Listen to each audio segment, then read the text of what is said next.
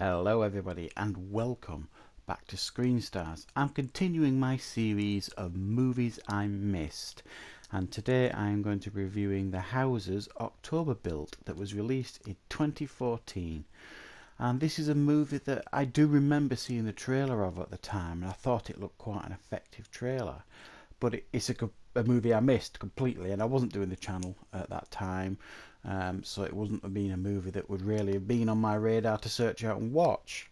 So consequently, I missed it. This was brought to my attention again recently through watching other videos on YouTube.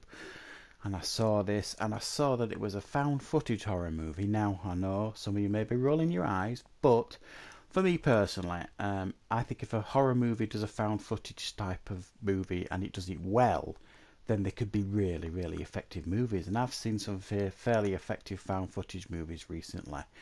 Uh, the found footage 3D that I reviewed recently on the channel I thought was very good.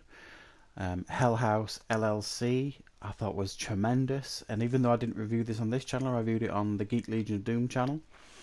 So they are out there um, effective um, found footage movies. So I'm always interested to see um, a found footage horror movie to see if they can delivers, if it can deliver. And this one, well, I feel isn't as effective as the two I just mentioned. I do think it's an half decent found footage horror movie, and it's got quite an interesting story about it. This.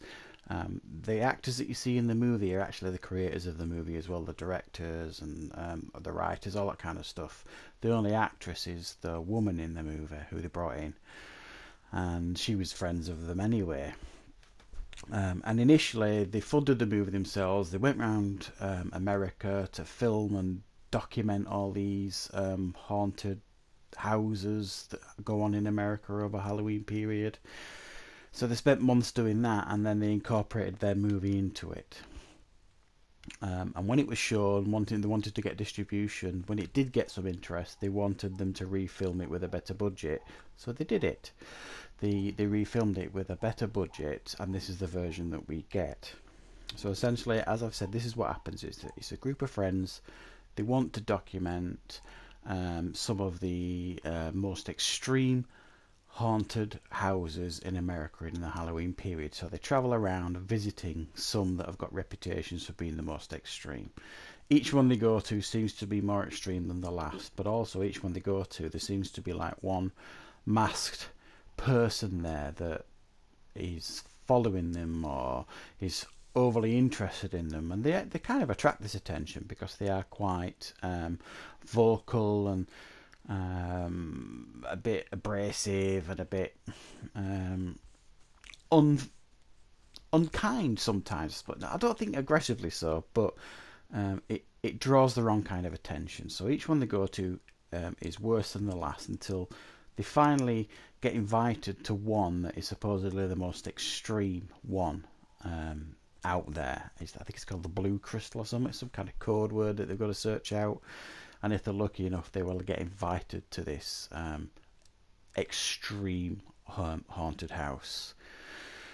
Uh, so they eventually get to that situation where they get invited to this one, and as you could imagine, it doesn't go particularly well.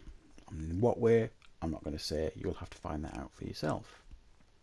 So, I, it, it's good. This movie, I think it, it, it's it's a good watch.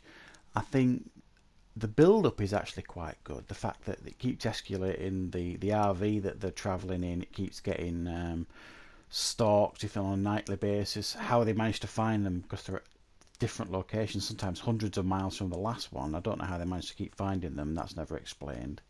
Seems a bit odd. But each night there's you know there might be somebody outside the RV or banging on it or you know leaving things on the um, windscreen wipers, all that kind of stuff.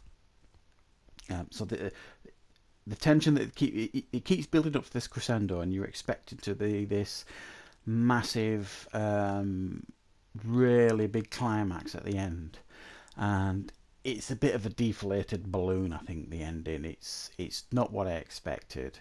It's a bit tamer, than, well, a lot tamer than I expected, and you might find it a bit of a letdown if you're expected to see a certain thing at the end um, and you don't really get it, um, you might find it, it, it, a bit disappointing. I found it a bit disappointing in the ending, but I didn't hate it. I thought it was okay. Um, just I thought the movie was okay. I thought it was interesting. I thought it was fairly effective at times. And my understanding is there's a sequel on the way. Apparently, I think it's just been released, so hopefully I'll be able to get my hands on that in a in, in a few weeks when it comes to DVD or on video on demand. And I will probably review that as well. So I think if you find, like found footage movies, I think this one would be worth checking out.